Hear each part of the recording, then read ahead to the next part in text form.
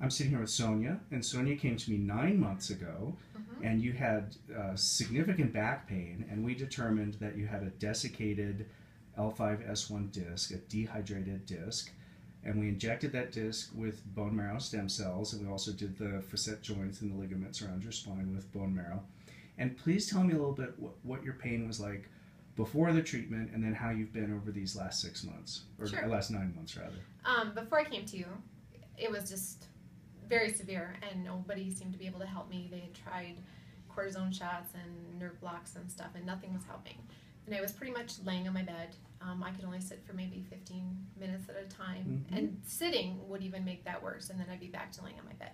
And I have five kids, so I, they were picking up my husband too the household chores. Couldn't walk for very long, um, so life was miserable.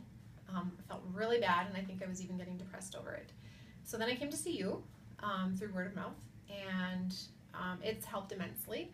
I can go two and a half, three miles walking now before, and that's a good walk too with a friend. Um, before I'll even start to feel like my my back is getting sore, and I've even seen a surgeon who said there was nothing. He wouldn't even do surgery. He just said let your Mhm. back fuse together, and Mhm. to me that wasn't an option. Um, I we actually just drove out here to Utah for for a convention. We Mhm. drove the distance with my whole family, hmm and I had no problem sitting in the car for 10, 12 hours a day. That's wonderful. So I can sit. Um, you know, the household chores can still be an issue. Too much bending forward is, is my big issue.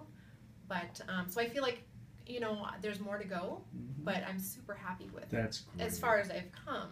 That's So great. yeah, I'm So- back hoping we'll get further. So if you had to pick a percentage improvement overall, what number would you say? Um, well, since I was so low, I'd probably say 60, 65 That's wonderful. Terrific. Great. But yeah, if I can get to bending over a bit more, Okay. so I So, can pick up some more household chores. so we'll do our second treatment today and see if we can knock it out of the park. Yeah. Super good. I'm thrilled for you.